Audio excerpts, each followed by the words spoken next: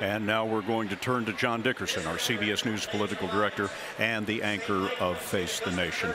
John, Clinton's folks hope for a show of unity at this convention. It's not happening. So now, you know, conventions are about control and choreography, but those forces have not had a very good record this election so far. And here at the grand opening, the voters are interrupting again. Uh, the, and it's fitting that the Bernie Sanders voters are angry about what? They're angry about the Democratic National Committee trying to control events. And, and uh, I was talking to a, a Democratic top Democratic strategist who said, we are all committed to making sure this convention comes off without a hitch.